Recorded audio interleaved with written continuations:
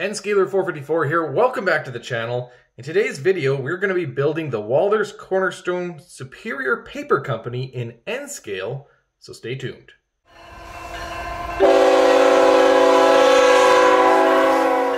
So the first thing you'll notice is this box is huge, and that's because there are two full buildings inside of it, which is awesome. Uh, it also means that you need to make sure you have enough space on your workstation to work with it. In fact, I need to clear off a little bit more on my station because it's just so big. But it does also mean there's going to be a ton of parts inside, which is fantastic. It's going to be a lot of fun to build. Look at this bag of parts. Wow. This is going to be fun. But before I get too far with this, I'm going to go and wash these with a soapy detergent solution and uh, that'll clean up any of the oil, oil residues or anything that might be on the plastics, and that will help the paint adhere to it. And then I'll come back and we'll start figuring out what's what and begin our paint and assembly. We have all the parts washed and dried, and now is a good time to start thinking if you're going to put lights on the inside of the building. I'm going to prepare for that. Whether I do the lights or not, we'll see. And one thing I do is paint the inside surfaces of all the walls. And I do that to keep the light inside the building. I don't want it bleeding through the plastic. So we'll start off with a coat of flat black.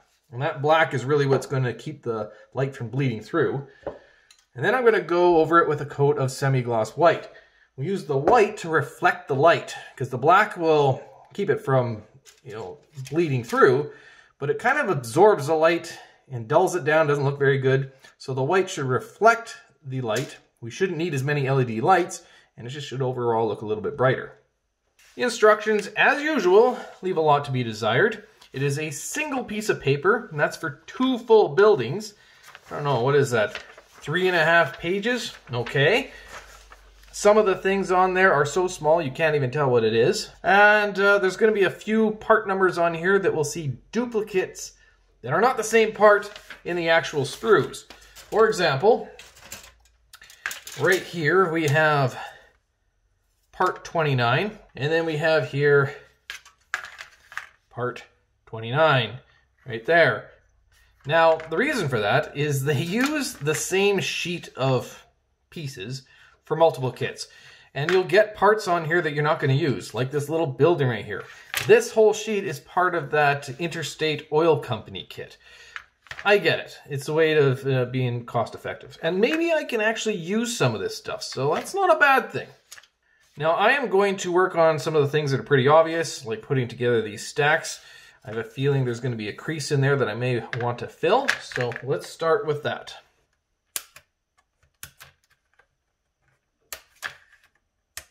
If you're kit building or working in model railroading, get yourself a set of flush cut pliers. For glue, I like to use Tamiya products. This is their cement and this is their thin cement. And sometimes I'll use this Rebel squeeze bottle. Nice and handy at times. That'll work.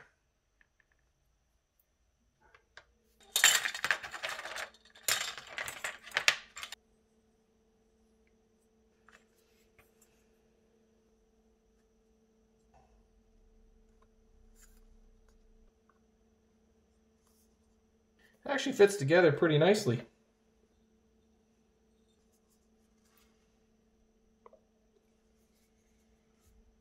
I'm now going to paint the concrete bases to where these silos and cylinders go. And I'm going to try a new technique. I'm going to be using a makeup sponge. And I'm going to try dabbing most of this. But let's give ourselves a painting spot. So, the thing I'm not a big fan of is how some of these pieces are connected to the sprues. It's like a big flat piece. I don't like that. It makes a lot more to clean up later on. I mean, it's not that bad. You try your brush to brush a little bit on first. Then after that, we're sponging it. Paint I'll use is this uh, Dolphin Gray. Ooh, that's a lot. That's okay. Definitely a little blue. Definitely a little bit blue. Yeah, little blue. But I have a plan. One plan I should use is water. Let's thin this out a little bit as it is a little thick. That's better. Here we go with this. Water down there.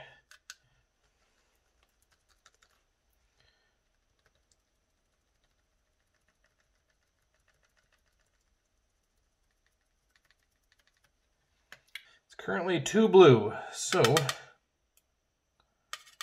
kind of a creamy color, isn't it? That's okay.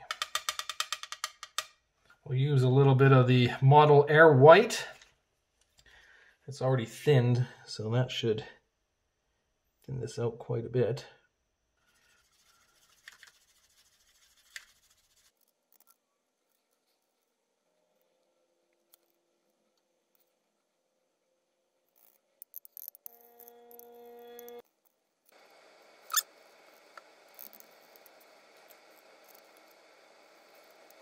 I put together the stacks and then used a little bit of this fast drying gray putty to fill in the gaps and any of the defects. Sanded that down and now these are ready for paint. The big silos I also sanded down using 220 grit sandpaper and it just smoothed out any of the high spots and whatnot and it did leave a little bit of a textured finish to it and I'm okay with that because once it's painted, if it shows through, I think that texture is going to look great. I'm still debating what color to paint these. Do I go with a concrete color or a metallic color? And I'm kind of leaning towards a metallic. So I might do a base coat with this dark iron and then spray a good coating of the steel over it. And I think that will look cool. And maybe some rust on the top as well. So I'm not 100% sure, but we'll see. All right, let's see what these look like. Let's see, I taped off parts that I didn't want painted. I expected a little bit of overspray, but that's really not too bad.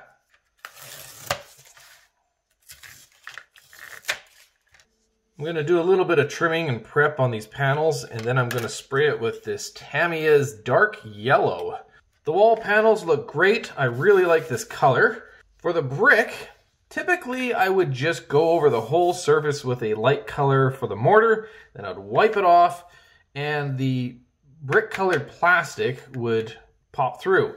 And it looks great. I've done it before, good success. This time I'm going to try something a little different.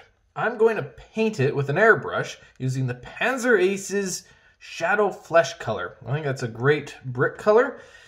And we're going to see what it looks like. I think the bricks came out great. The color is very close to the original plastic color, just the paint takes away from that plasticky look, which is what I'm going for. And now it's time to do the mortar. And what I do is I take a little bit, I'm gonna use light gray, do a drop or so in there. And then the key is to heavily water it down.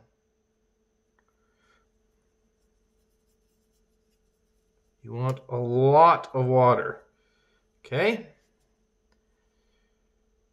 Because it's basically going to be a wash. With a, a nice light touch, we should be able to just just touch it and go across.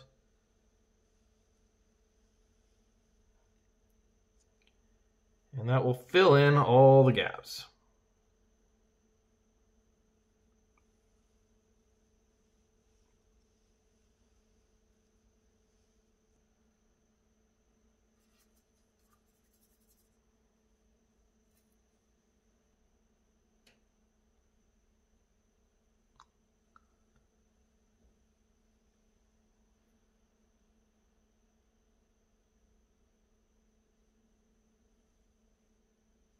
Oh yeah, that's better. Like I said, very watered down.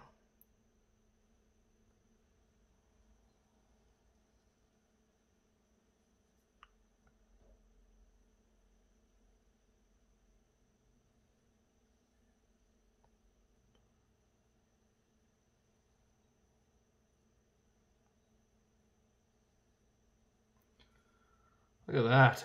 The way it just kind of transfers over.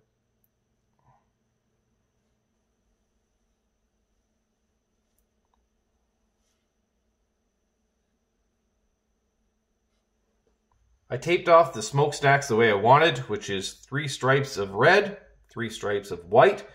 And based on this configuration, these five stripes need to be 1.2 inches in height.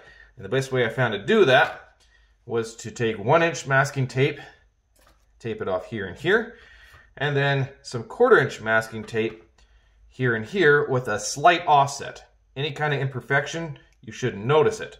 For paint, I'm going to be using Tamiya's X7 Red. Now this is a gloss red, and I do not want this to be glossy. So the way I'm going to counteract that is I'm going to mix this about one to one with 99% rubbing alcohol, and then use an airbrush, and that should turn it into a matte finish. If that's not enough, I'm going to go over it with a satin clear coat.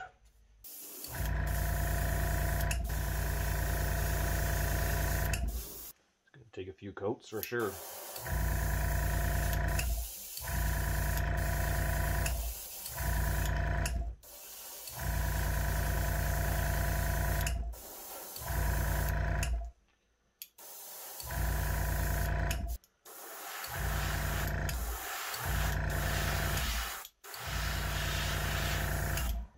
It did turn out a little bit more glossy than I hoped, but let's pull the tape off and see what it looks like.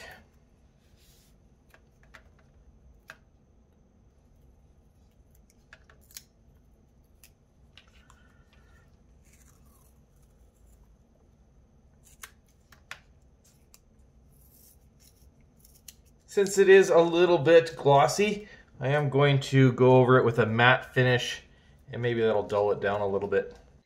I've decided to paint these a metallic color, and I'm going to use Tamiya's Dark Iron XF84. That's my base coat, which I'm going to concentrate more on the top than the bottom. And then I'm going to go over it with this Model Air Steel.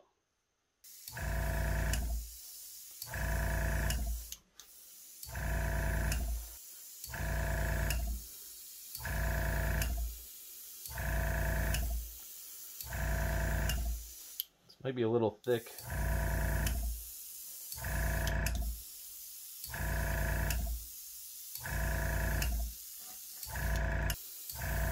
Oh, big splatter. You see that?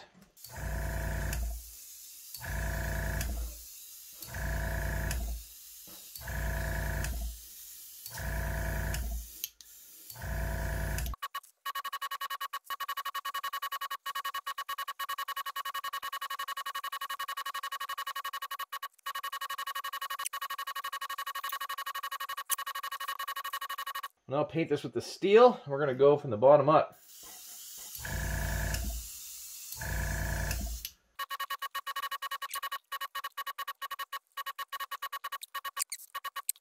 These are looking pretty good, but now I might ruin it. Because I'm going to add a rustic color, and this is just a concoction of different, you know, colors of rust, a bit of the wash, and that brick color I had. So I'm just going to spray it thin coat on the top of it to simulate that that's where moisture is and it's kind of settling.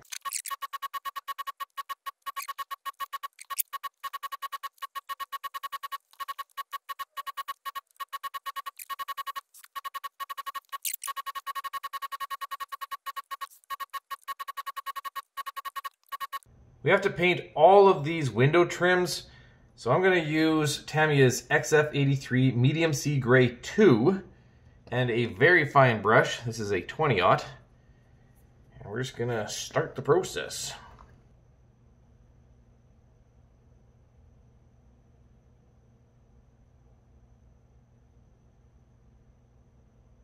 I'm having trouble seeing.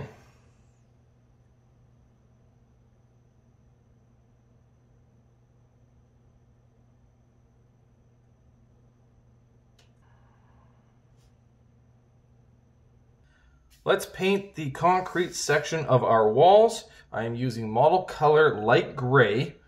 From the bottle, it looks like a good color. I've already done a piece, so I'm going to show you something here in a second, though. This paint actually lays on really, really nicely. I'm quite impressed by it.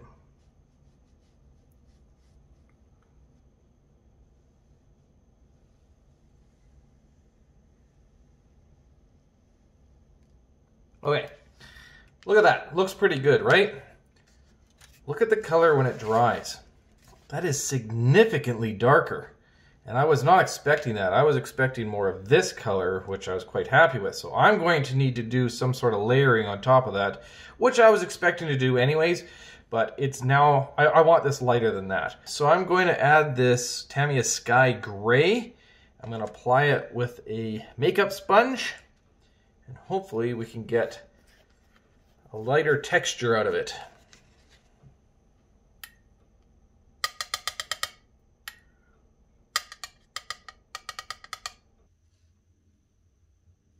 I really should tape this off, honestly.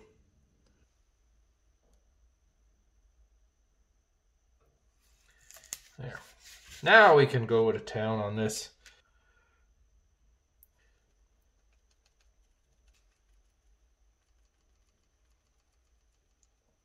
Think that looks better.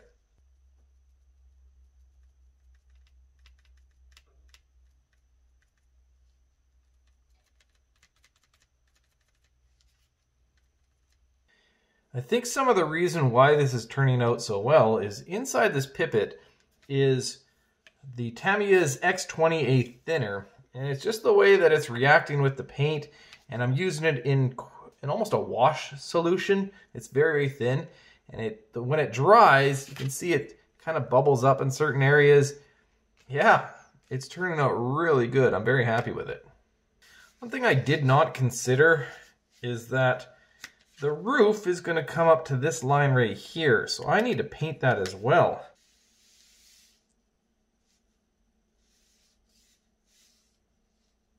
For the concrete on the brick building, the base layer I'm going to use the Tamiya Medium Sea Gray 2.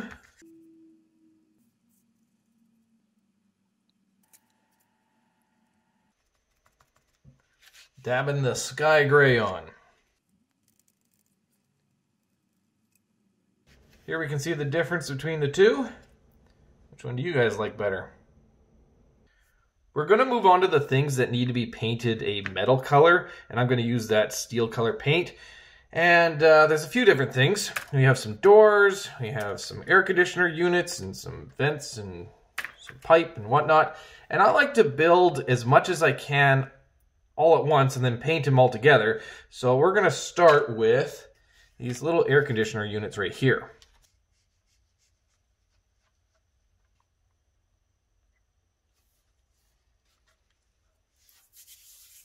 I was going to put this all together, but I realized I want my pipes to be a different shade of metallic than the structure. I'm going to do aluminum using this Model Air aluminum for the frame and then steel for the pipes.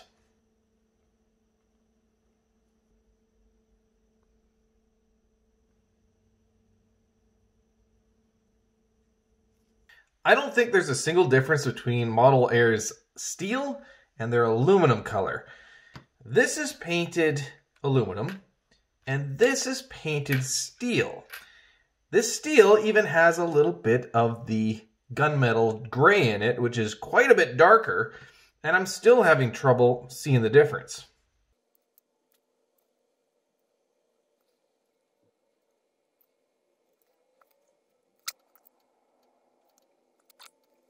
I like to do some of the weathering and detail work before any of this stuff goes on the model, so I'm going to use some of this Vallejo Black Wash, a really fine tip uh, and long hair brush.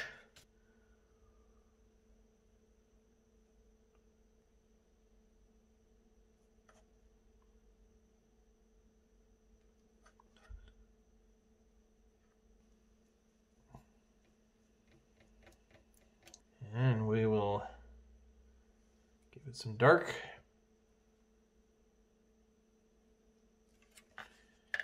Let it drain down. Here we go.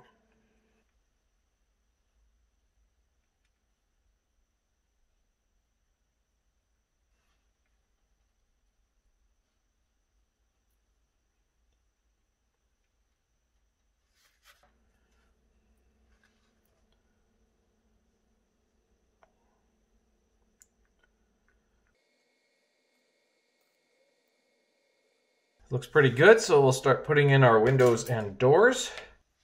So I find that the windows are going to be fine, but the doors right here, they're set back quite far because of this recess right here. And I did not paint all the inside edges with that. So I think I'm gonna have to go back and do that. That looks better. So let's start putting these in.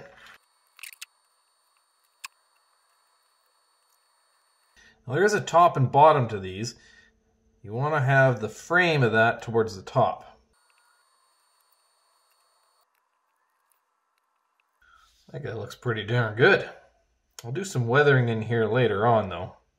One thing I noticed is on the box, each one of these doors has a frame around it, like bumper pads for the semi-trucks.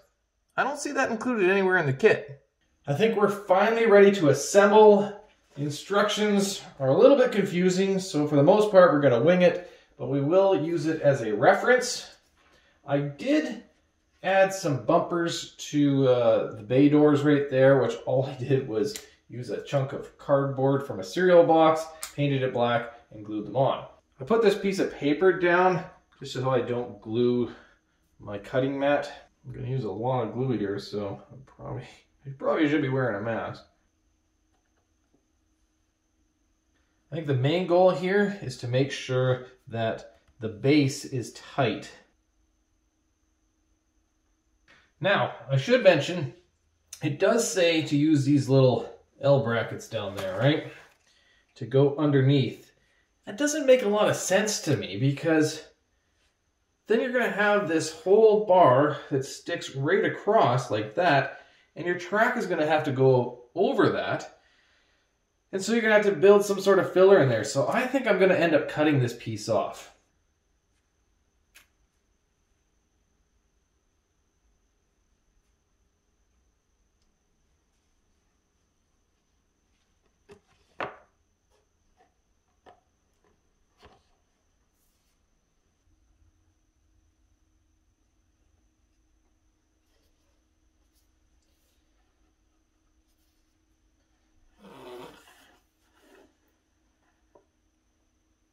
All right, maybe I'm crazy or maybe I just can't read instructions, but these two pieces butt up against each other like that.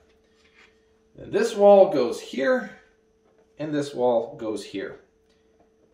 There is nothing that I can see that goes underneath this corner right here to support it. Nothing. Like, look at the instructions here. I see nothing in these corners that do anything. But I do see these strips, which I didn't understand when I first had, uh, I was looking at the kit, or the sprues. I guess they just go in the seams like this, right? Like one there, and then one here, or whatever. And that's supposed to just glue them together and hold them together. And I can't help but think back, you know when you're a child, like one or two years old and you're putting Legos together and you don't really interlock them because you don't understand how, uh, you know, mechanical engineering works. That seems like what this is. Like, honestly, you, you figure that out by the time you're like five years old. How is this like this? Wow. Well, now I got to think about figuring a way to build something up because that's just not good enough. Okay, I have a solution. I don't know if it's a good one, but it's a solution. So the first thing I need to do is glue these together. Ruler to make sure it's square. I did chop off that section of the L. We'll slide this in. Again, we'll make sure it's as square as I can make it. I built my own little brace in the middle. We'll shove that in there. Good. I like that.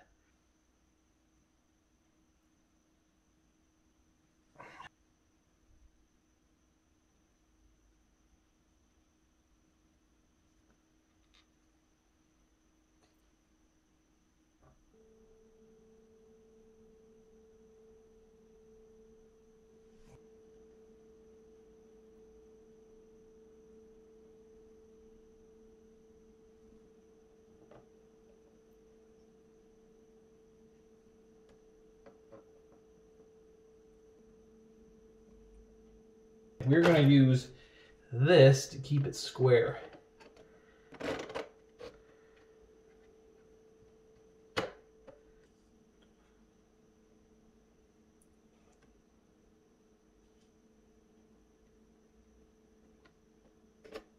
Once again, we will use the roof as a as a way of keeping things square.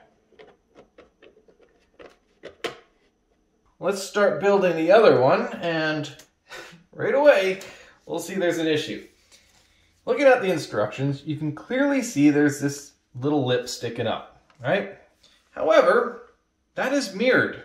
We cannot build it that way, so we have to build it this way. And that means that this will never sit completely flush right to this edge right here.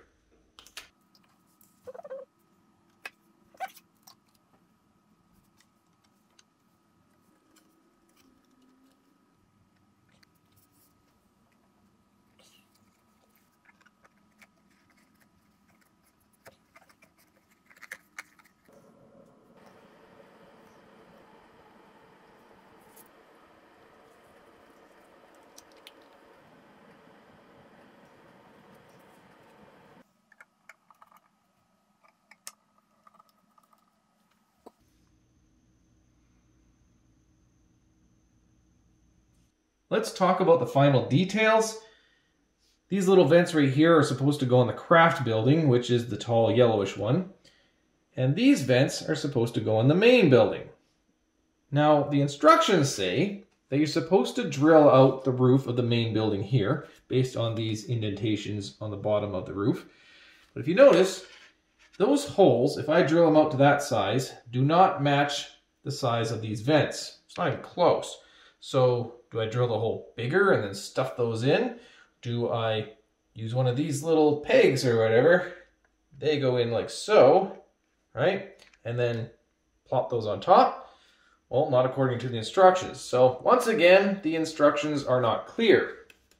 Not to mention, I gotta say, particularly these ones, they don't look all that great. So I'm thinking I might just design my own or find an alternative because I don't really care for those. This pipe bridge gantry deal is really cool. Unfortunately, you're limited to how you can use it because you need to have your building spaced this far apart and square to each other. But I do like it. And then you just place them on the little supports like so. Like that one and that one and away you go. So I like it. I just don't know if I can use it.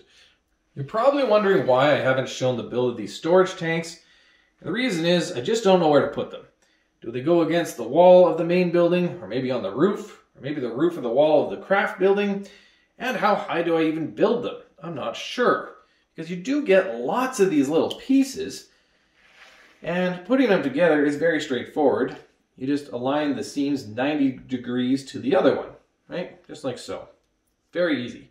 You also get enough pieces to build a taller one, which it comes with all the piping and stuff. And again, where do these go? So you guys can figure out how you want to place it on your layout and what color you want to do. I probably will do white, but we'll see. The kit does come with decals, which is great. Um, use whatever you want on them. If I decide to ever use them, it's probably just going to be the the large sign, but I'm going to cut off the main mill or the craft mill and put them on a separate sign and glue it to the side of the building. But it's nice that it comes with something. I talked about doing lights at the beginning of the video, and I don't have time for this one. And I'm not even sure if I'm going to install lights, but I definitely intend to customize the crap out of this. So if you want to see that, make sure you subscribe, leave a comment, obviously hit the like button, and as always, thanks for watching.